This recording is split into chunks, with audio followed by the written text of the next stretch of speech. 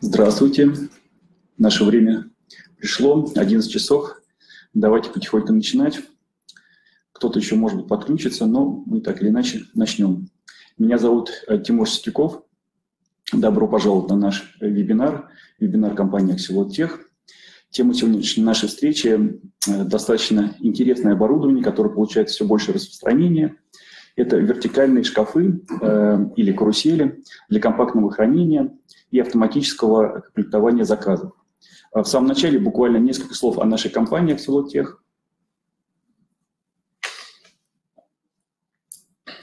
Мы входим в группу компании Axelot, занимаемся поставками оборудования, его монтажа, наладкой, э, сервисным обслуживанием. А если брать нашу программу поставок, ее грубо можно разделить на три части. Это энергетика, складская техника и оборудование для автоматизации складских операций. Что такое энергетика? Энергетика, э, в нашем понимании, достаточно интересное решение. Э, машина, которая э, называется еще по-другому когенератор. Здесь мы производим одновременно и электроэнергию, и тепло. На картинке вы видите один из примеров комплектации такой установки контейнерного типа.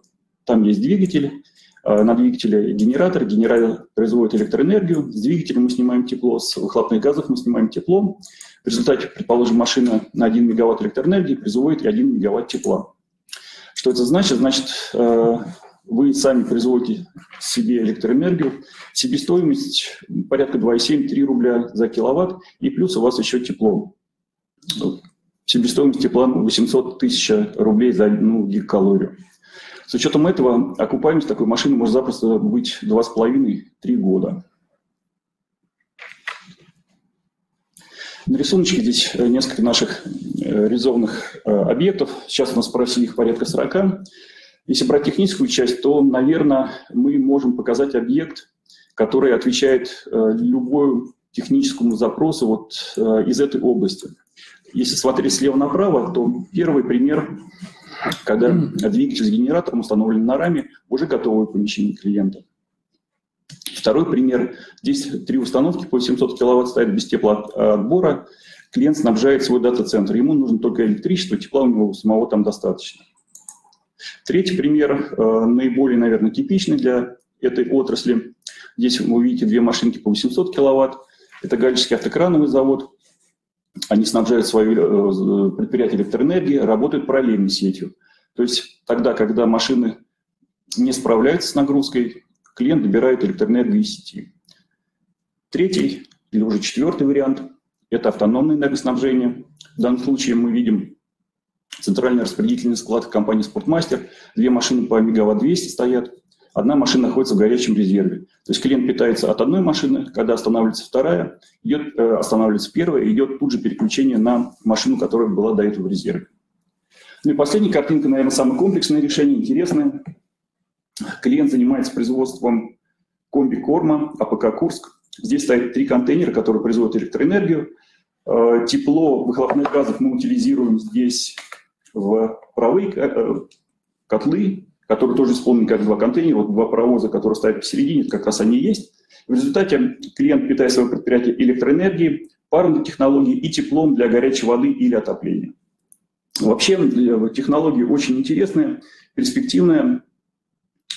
Э, можно много о ней говорить, как рассчитывать себестоимость, как э, подбирать контейнеры.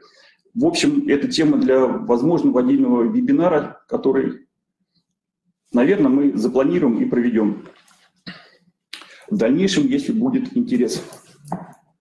Э, второе направление – погрузочная техника. Мы здесь сотрудничаем с компанией EP Equipment, входит в десятку крупнейших производителей подобного оборудования в Китае. Завод сам производит литий-ионовые батареи. На складе у нас всегда есть погрузчики, штабелер, э, тележки. С удовольствием всегда даем попробовать, как э, для того, чтобы оценить качество оборудования. Китайские производители, бывает еще недоверие к ним, так и преимущество литий-ионовой технологии. По клинингу мы работаем с итальянской компанией Гибли Вирбель. Хорошее, надежное, проверенное временем оборудование. Ну стеллажная система – это все, что может потребоваться, все, что известно на рынке, фронтальные, глубинные, гравитационные и так далее. Третье наше направление – это оборудование для автоматизации. Слева вы видите вертикальные шкафы. шаттловые стеллажи с шаттлами. То, что касается световых технологий, Put-to-Light, Pick-to-Light, здесь мы сотрудничаем с японской компанией, закупаем у них световые панели и дальше уже оборудуем по запросу клиента либо стеллажи, либо гравитационные стеллажи, станции отбора, тележки отбора. В общем, все, что нужно в данной конкретной ситуации. Ну и терминалы сбора данных, сканеры, принтеры, это, в общем-то, известно всем клиентам, которые пользуются ВМС.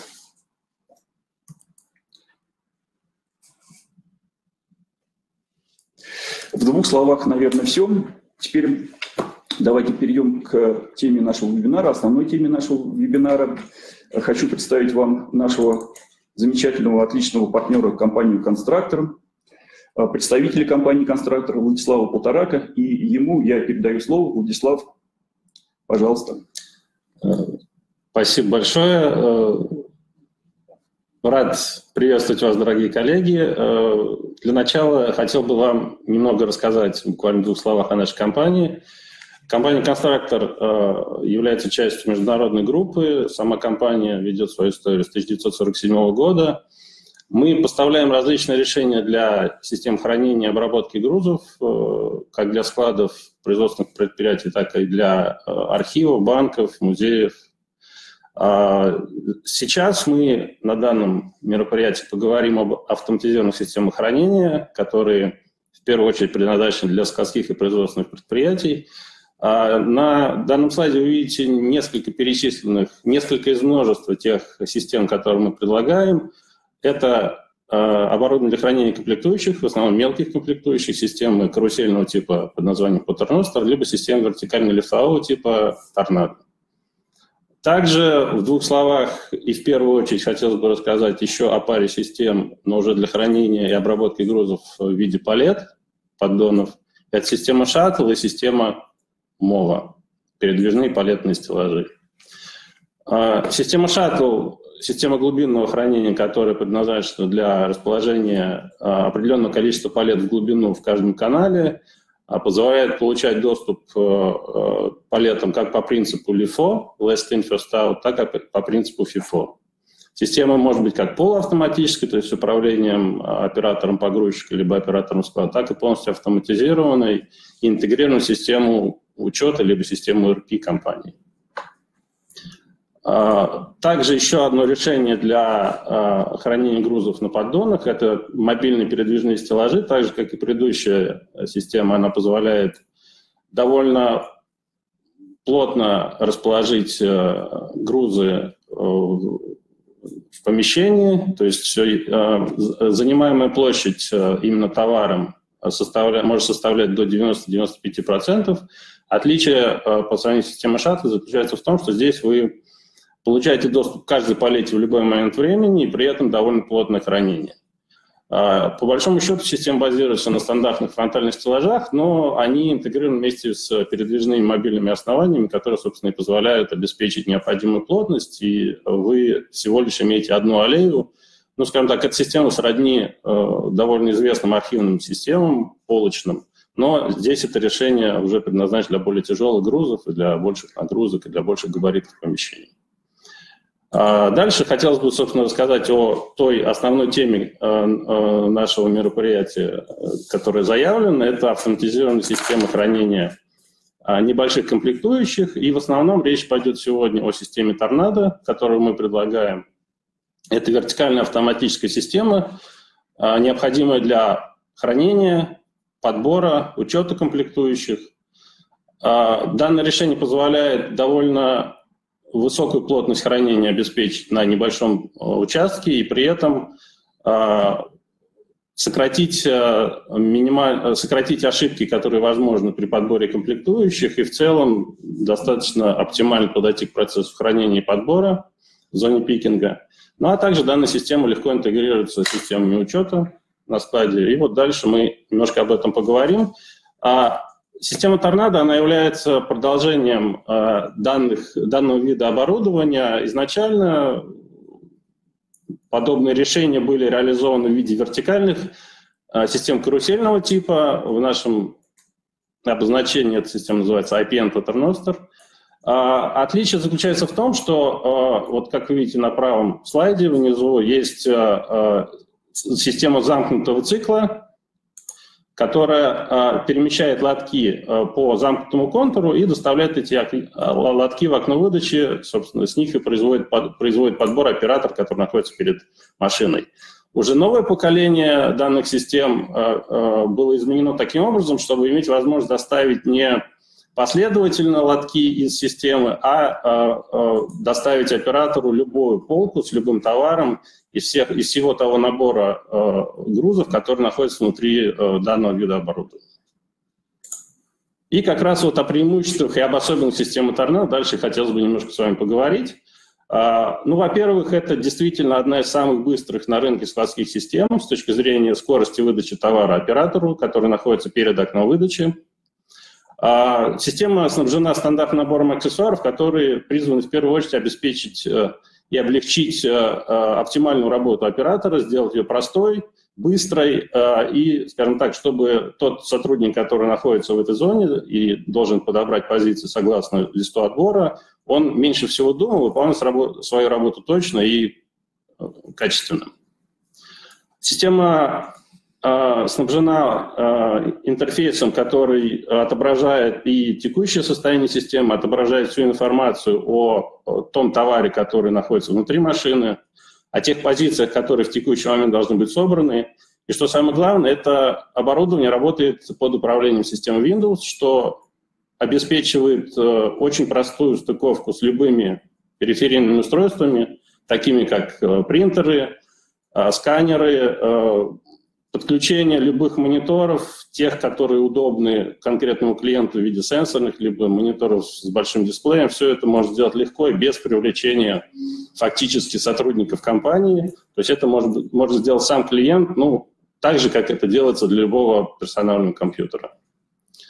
Система, кроме того, что быстро, она еще и э, позволяет довольно обеспечить большую емкость хранения благодаря тому, что сам лоток, на котором находится товар, он имеет размеры стандартные до 4 метров. Есть решения, которые могут, быть, могут поставляться с еще более, большим размером лотка. То есть э, данный размер может достигать 4,5 метров, что обеспечивает хранение довольно габаритных товаров, при этом обеспечивая их эффективный подбор и высокую плотность хранения. Система очень распространенная в мире. Э, здесь вы видите небольшую карту и э, количество инсталляций, которое было произведено на момент э, середины прошлого года. Как вы видите, очень большое распространение системы торнадо имеет как в Европе, так и во всем мире. В России есть тоже установки, их не так много, поскольку система, ну, скажем так, становится все более и более узнаваемой с каждым годом, но мы стремимся, в том числе вместе с нашими клиентами к тому, чтобы эм, об этой системе узнали больше и поняли ее преимущества.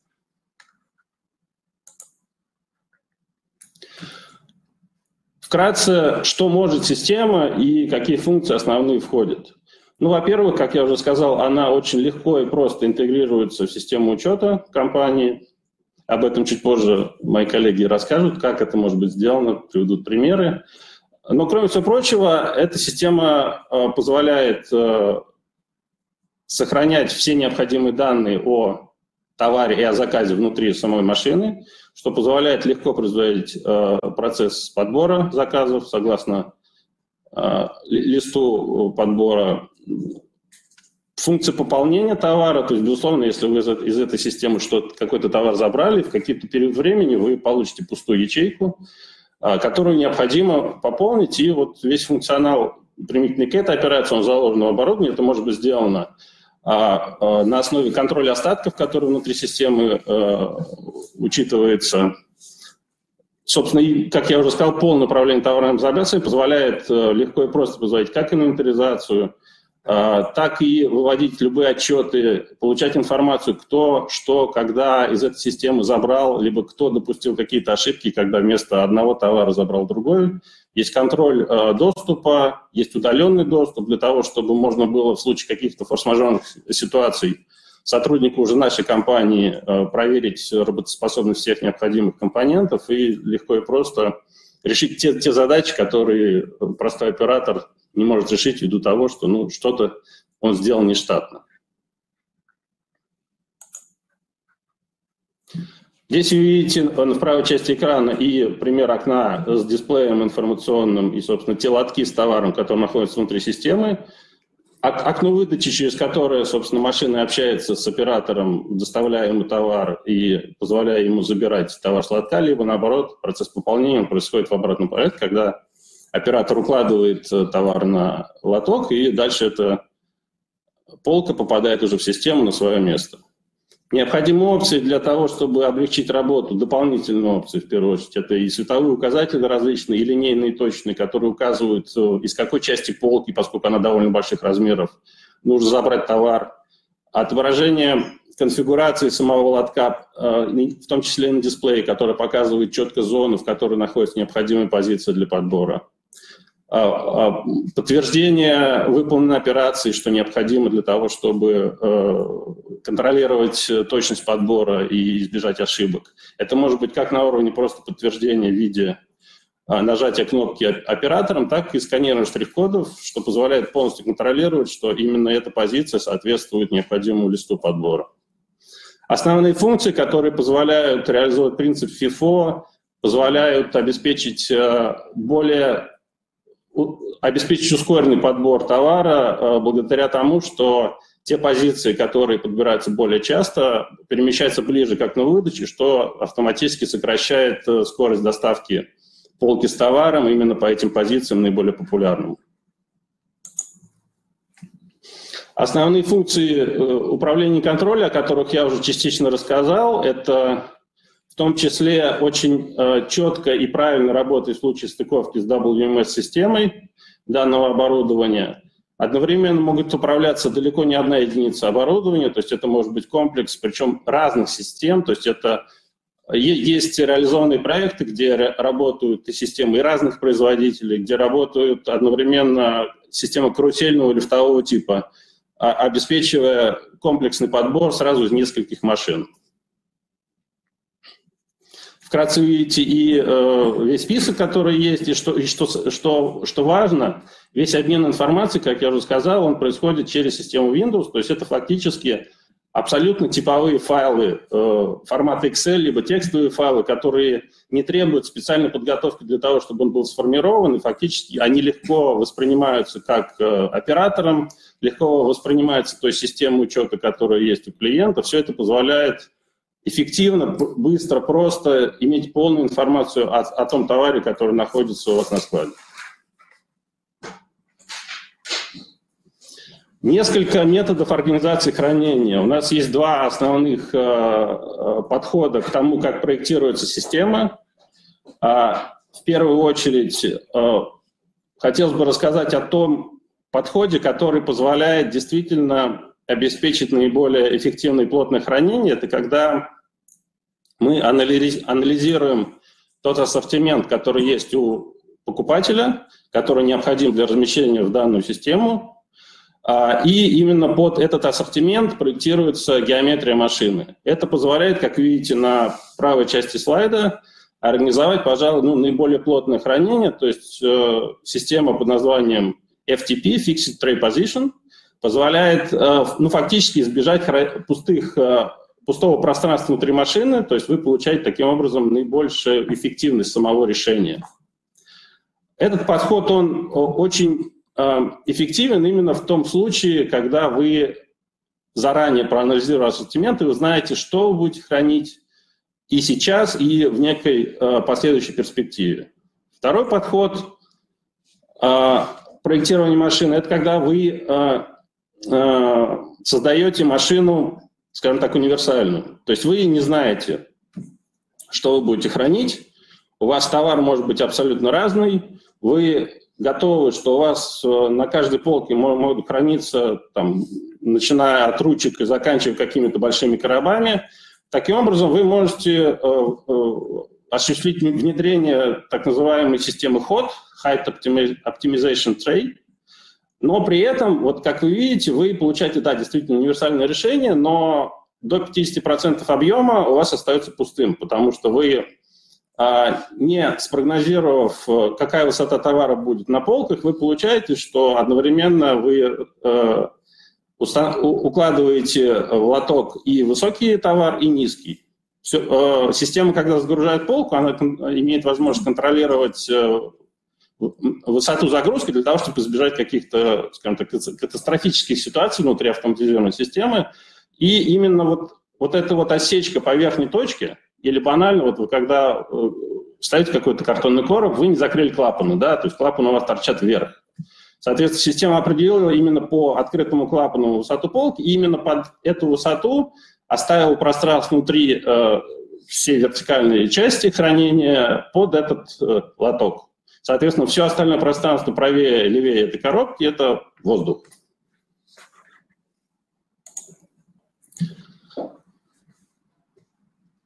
Выбор из этих двух подходов, а также интеграция системы позволяет э, сделать решение именно под требования конечного клиента. Система, система может быть э, спроектирована именно в четком соответствии с тем, как э, планируется работа, какие группы товаров должны находиться внутри. И вся информация будет находиться как и э, в системе учета товара э, самого клиента, так и внутри машины. Решение доступно, ну, скажем так, почти для всех отраслей бизнеса. Безусловно, есть какие-то более популярные э, отрасли, где больше всего установок данного типа оборудования. Есть э, те решения, которые ну, довольно специфичны, и те отрасли, где это применимо, но с некими ограничениями. Здесь перечислены, пожалуй, наиболее часто встречающиеся сферы деятельности, где э, данные единицы оборудования нашли свое применение. Ну и дальше я хотел бы немножко рассказать о конкретных примерах, э, где и как это было реализовано. Один из примеров – это распределенный центр для хранения комплектующих автомобильных, собственно, автозапчастей – Здесь решение было в виде суммарно 8 вертикальных машин «Торнадо», плюс э, вся система э, завязана вместе с конвейерной линией, что позволяет обеспечить сортировку собранных заказов, которые собираются до 2000 э, единиц в сутки. При двухсменном работе все данные заказы распределяются по пяти направлениям отгрузки, как видно вот на прилагаемой фотографии и на данной небольшой сортировочной линии с конвейером. Также реализована система Pick by Light, что позволяет партиями собирать, то есть это своего рода волновой подбор заказов из 8 единиц э, оборудования торнадо вертикального типа. Вся система интегрирована вместе с WMS-системой, суммарно. А, кроме данного оборудования также установлена и палетная система для более габаритных грузов. И весь склад общей площадью около 50 тысяч квадратных метров обрабатывает около 70 тысяч артикулов. Другое решение из более, наверное, специфичной сферы – это судостроение. А, ну, почему здесь этот пример есть? Во-первых, э, ну, я так скажу, в нашей стране судостроение – это далеко не последняя отрасль с точки зрения развития. Кроме всего прочего, наше одно из основных, одно из основных предприятий находится под Петербургом, и вот данная отрасль для нас, для нас довольно, скажем так, востребована, да, и мы хотели бы именно и в этой сфере быть э, полезными для наших клиентов – в данном случае пример э, компании, которая занимается хранением и поставкой комплектующих для лодок и судов, э, где было установлено 4 вертикальных машины «Торнадо». Суммарно э, до 2000 позиций новых появляется э, на складе ввиду того, что меняется конструкция э, тех судов, которые производятся клиентами, меняются требования, и всего около 10 тысяч артиклов э, хранится – Внедренное решение помогло реализовать сборку заказов в течение суток, то, что сейчас, скажем так, популярно в том числе и для онлайн-магазинов, хотя, если так брать современные требования московского региона, то наши э, он, онлайн-компании доставляют сейчас, наверное, за несколько часов, да, а не за 24 часа. А увеличение эффективности именно благодаря внедрению данной системы э, не только на этом предприятии, но и практически в любой сфере оно составляет до 60%, это просто сокращение времени на пустое хождение оператора между стеллажами, а оператор четко располагается на своем месте, его единственная функция – это взять нужный товар и положить, в данном случае, в лоток с тем заказом, э, к которому данный э, короб относится. Косметика и фармацевтика. Э, компания которая имеет распределительный центр около 20 тысяч квадратных метров, попросила реализовать довольно эффективное решение по хранению именно вот таких небольших компонентов, которые относятся к данной сфере. И всего до 40 тысяч активных позиций с подбором до 8 тысяч строк в сутки были реализованы благодаря суммарно 7 системам хранения Э, торнадо. И плюс для совсем мелких комплектующих была установлена система вертикального карусельного типа по торносту. И еще один пример – это хранение совсем уже небольших комплектующих. Это электронные компоненты, довольно свежая установка, где было э, внедрено три системы вертикального хранения торнадо. А, суммарно а, около 26 тысяч отгружаем заказов в год для одной компании, 100 тысяч артикулов. И со всем этим справляется, собственно, всего 6 операторов, которые а, собирают необходимые заказы для отгрузки конечным клиентам.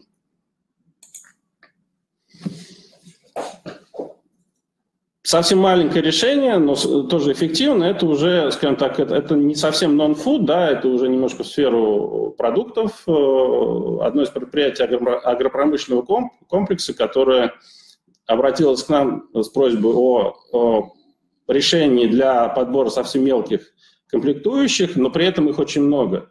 Если вы посмотрите, то всего со склада общей площадью 4000 квадратных метров, который находится недалеко от Москвы, собирается до полутора миллионов штук позиций и отгружается клиентам. И одно из э, решений, которое действительно помогло данную задачу реализовать, это внедрение системы Торнадо на данном предприятии и интеграция его э, в систему учета WMS-системой компании. Далее вы э, можете ознакомиться, наверное, с со списком вот, в определенной степени, наверное, проще прочитать, да, чем я буду озвучивать, но, тем не менее, это вот резюмеры, все основные моменты, для чего нужна данная система. Это э, ну, целый ряд э, задач, которые оборудование решает. Это повышение эффективности, это действительно удобство и эргономичность, это экономия полезной площади, то есть, условно, все то, что вы можете расположить внутри системы вертикального типа, это примерно равняется э, двум-трем мезонинам полочным, которые будут располагаться, на, соответственно, вдвое-трое больше площади э, на складе. То есть вы таким образом будете просто задействовать лишнюю либо собственную, либо арендованную площадь для хранения. Это сокращение времени благодаря тому, что оператор фактически находится на площади нескольких квадратных метров, и э, экономит время на том, что он гораздо меньше перемещается между ячейками, и фактически весь товар доставляется именно к оператору, что называется goods to man. Сокращение числа ошибок именно благодаря тому, что э, высокая эффективность информирования оператора о том, какую позицию взять, высокая степень контроля, чтобы э, была взята с полки именно необходимая для данного заказа позиция. Ну и, собственно, надежность системы. Срок службы он действительно большой. У нас есть инсталляции, которые работают по 15-20 лет, и на самом деле это не предел. Качество оборудования и э, своевременное сервисное обслуживание позволяет работать э, как автоматизированным, так и самым обычным системам хранения на протяжении десятков и десятков лет.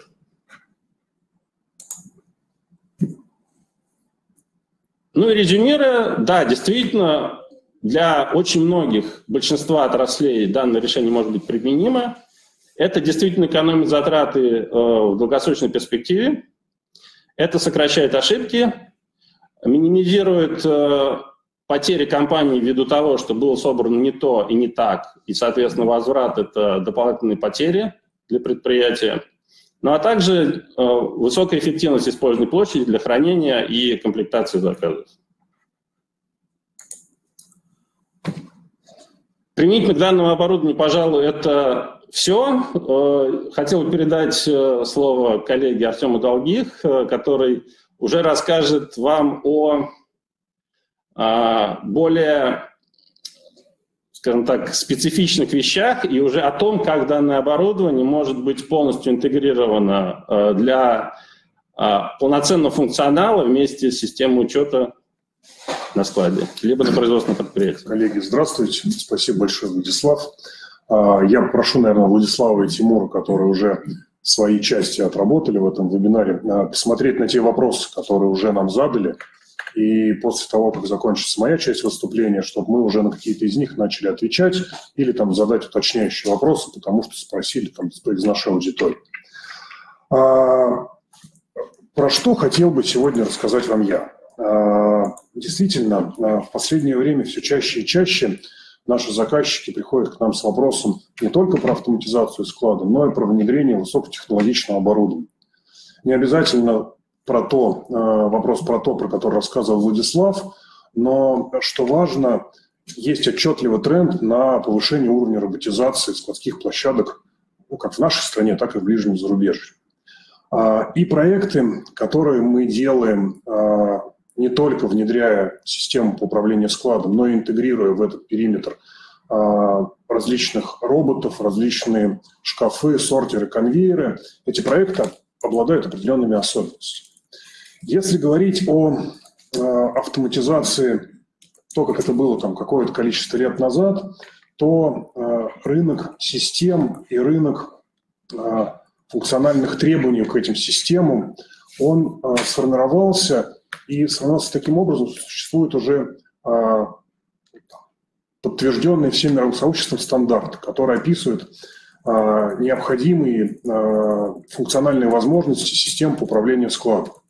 Здесь речь идет о том, что есть как а, базовый параметр, а, базовые, базовые функции ВМС-систем, так и дополнительные.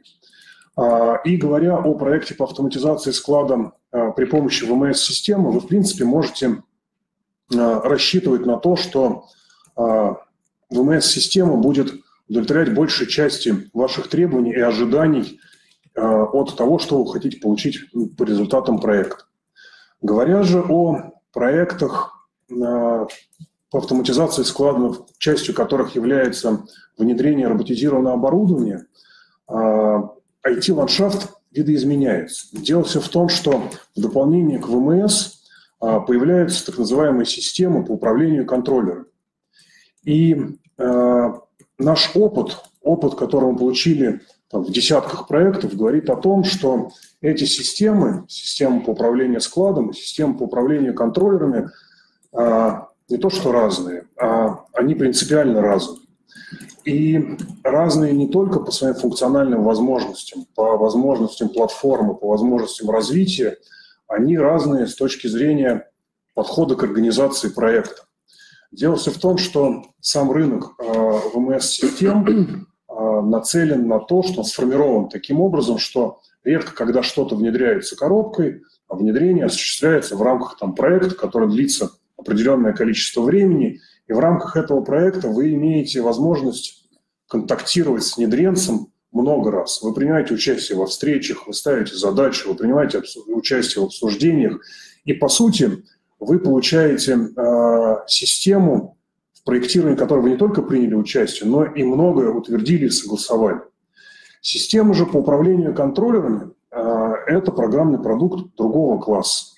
И а, на следующем слайде я вам расскажу, там, с какими рисками в ходе а, внедрения вот таких проектов мы сталкиваемся, и дальше там попытаюсь подытожить, как этим всем можно поуправлять.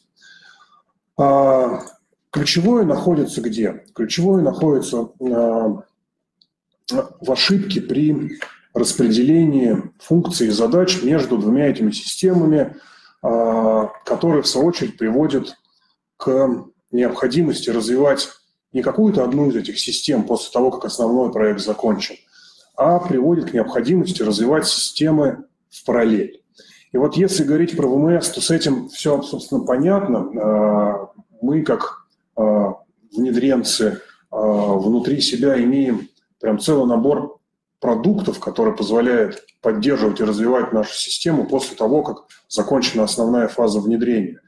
Так вот, систему по управлению контроллерами а, мы квалифицируем там четыре группы а, рисков, которые можно а, характеризовать как проблемы с лицензированием.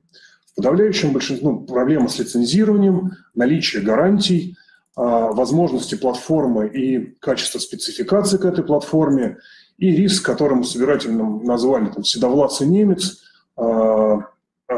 этот риск связан с теми людьми, которые на самом деле смогут поддерживать и развивать систему по управлению контроллером. Немножко подробнее. В подавляющем большинстве случаев, говоря о проектах по роботизации, мы говорим о поставщиках оборудования, а, центр компетенции, который расположен а, не в России. Соответственно, а, лицензирование, правила определения количества подключений, правила определения там, лицензирование по каким-то характеристикам оборудования. Все это находится а, не в локации российской, и практически всегда разобраться вот детально, из чего что состоит и что придется докупить в случае вашего там будущего развития, а, весьма проблематично. А, валютное ценообразование. Риск хоть в каком-то смысле там нам всем и понятный, но сложно управляемый. То есть колебания спроса рубля к основным валютам могут там, оказаться неприятный, неприятным сюрпризом. И еще один риск, связанный с лицензированием, это отсутствие альтернативы. Если вы э, установили взаимоотношения с каким-то поставщиком, то поменять там центр лицензирования будет весьма проблематично. Э, сложности э, по платформам и спецификациям. Э, в подавляющем большинстве случаев а, говоря о платформах, а, и дальше я там продемонстрирую это на слайдах, мы сталкиваемся с тем, что а, решения разрабатываются, решения по управлению там, роботизированным оборудованием разрабатываются на совершенно неожиданных платформах. В этом нет чего-то там критичного и э, проблемного с точки зрения способности комплекса, но с точки зрения последующего развития – скорее всего, у вас не получится э, забрать вот эту задачу in-house, найти своих специалистов, которые смогут там, на платформе решения о выборе, которое принималось 10-15 лет назад, найти того специалиста, который сможет обеспечить э, там, должный уровень качества э, добавочных решений. Э, через проект мы сталкиваемся со сложностями, связанными с качеством документации.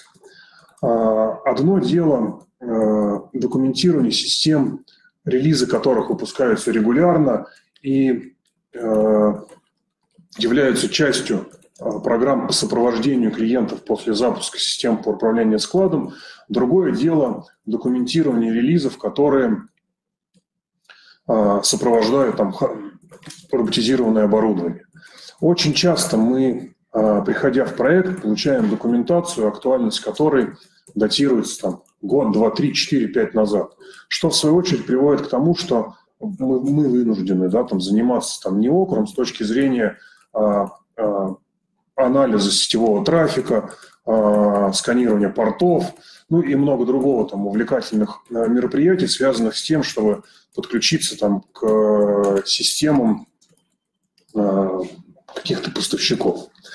А, есть у нас вопрос гарантии, это очень важно. А, действительно а, гарантийные обязательства, которые попадают в область международной юриспруденции, это штука, которая там, является там, достаточно рисковым, а, рисковой такой историей. И если мы говорим о том, что в проекте мы не закончили все, что необходимо было сделать, систему по управлению вот этим специализированным оборудованием, то проект по развитию, который начнется позже, может э, очень серьезно видоизменить гарантийные обязательства, которые несет перед собой перед клиентом поставщик данного оборудования. Ну и самый такой живой риск, который мы называем там седовласый немец, э, смотрите, с чем он связан. Э, в подавляющем большинстве случаев поставка такого специализированного оборудования – это про то, что софт, который едет вместе с ним, не развивается каким-то там как тиражный продукт, когда есть целая группа там R&D, когда есть группа внедренцев, когда есть целый штат, который там обеспечивает э, добавление функциональности, обучение клиента. А в подавляющем большинстве случаев это небольшая группа сотрудников, которая сидит там в штаб-квартире и на, на площадку большого желания приехать не испытывающий. В случае, когда у вас э, вот этот проект по внедрению роботизированного оборудования растянулся там, за пусконаладочные работы, продлился на развитие, вы рискуете оказаться в ситуации, когда э, от вендора э, специалистом, который будет вот поддерживать это развитие, будет не тот человек, который обладает максимальным набором компетенций, который действительно понимает, как устроен этот софт, а это будут там, монтажники-инженеры, которые прошли там небольшой курс э, подготовки и там, а, сложные вопросы не то что оперативно, в принципе, решить не могут. И, собственно говоря, чтобы вот визуализировать немножко перед вами, я прямо на, несколько, на некоторых слайдах собрал там, те спецификации, которыми, с которыми нам пришлось столкнуться. Просто чтобы вы их оценили с точки зрения вот взять эту спецификацию, отдать там специалисту э, внутренней службы и сказать там вот давайте там разберемся и попробуем там что-то сделать самостоятельно. Как вы видите, да, то есть а, архитектурно это очень разные решения. А, по тому, как это можно, нужно было сделать, там принято а, специалистами, которые там, может быть, ситуация, когда даже не смогут объяснить, почему именно такой набор полей, какие взаимосвязи между полями таблиц, почему именно такой IP там определен, почему такие порты выделены. Поэтому а, вот, вот эта сложность разнообразия а, – это основная причина того, что а, попытка поиграть в модификацию вот этих систем по управлению контроллерами практически всегда приводит к набору неуправляемых рисков. И отсюда, собственно говоря, а, основной посыл, который хотелось бы там а, донести до всех, это то, что на этапе, когда вы принимаете решение о том, какое роботизированное оборудование должно появиться у вас на складе, ровно на этом же этапе нужно принять решение о том, каким образом разделяется бизнес-логика между теми системами, которые появятся в вашем IT-ландшафте. Систем, как я уже говорил, две. Это система, которая, собственно, управляет роботом, и система, которая управляет складом. Наш совет, а, который подтвержден там, десятками проектов, а, если уж вдруг необходима работа по адаптации а, системы, которая управляет контроллерами, эти работы должны быть разовыми. Целеполагание должно быть таким, чтобы система управления контроллерами вместе с данным роботизированным оборудованием после проекта превратилась в некий черный ящик. Обязательно все эти работы э, нужно осмыслить, осметить, согласовать, прописать до того, как вы подписали финальный контракт с поставщиком оборудования. А, после того, как оборудование будет поставлено самостоятельно и будет осуществлен пусконаладочные работы, а, какое-то развитие превратится в головную боль. А, ну и говоря о той части, которая относится к системе управления складом, конечно же, на этапе контрактования нужно понять, каким образом с этим черным ящиком система по управлению складом взаимодействует – и в идеале, наверное, а, в самом начале пытаться а, придумать истории, когда однотипные действия а, там, комплекса роботизированного оборудования система по управлению складом сможет по-разному трактовать. Ну, не знаю, там, в одном случае, говоря про сортер, она будет рассортировывать по каналам сбыта, там, в различные магазины, загружая, загружая через лотки. А в другом случае она будет э, рассортировать возвратный поток, пришедший при смене коллекции из э, ваших же магазинов. Таким образом, сортер, выполняя одну и ту же работу, сортировку по э, какому-то признаку, но с точки зрения системы управления складом, это там будут разные операции. Вот такой набор разных операций, их нужно, конечно же, смоделировать в начале и уже э, правильным образом трактовать ту, ту информацию, которую обратным ходом вы получаете из системы по управлению контроллером, собственно, по управлению роботизированным оборудованием. А, мы обязательно потом поделимся материалами со всеми теми, кто участвовал в этом мероприятии. Контакты, а, по которым можно связаться там, с нами, они будут в конце этой презентации сейчас у вас на экране. А, наверное, огромное всем спасибо. Спасибо, Владислав, спасибо, Тимур. До новых встреч. Спасибо большое. Да. Всегда готовы ответить на вопросы и предложить наиболее оптимальные и нужные для вас решения. Спасибо.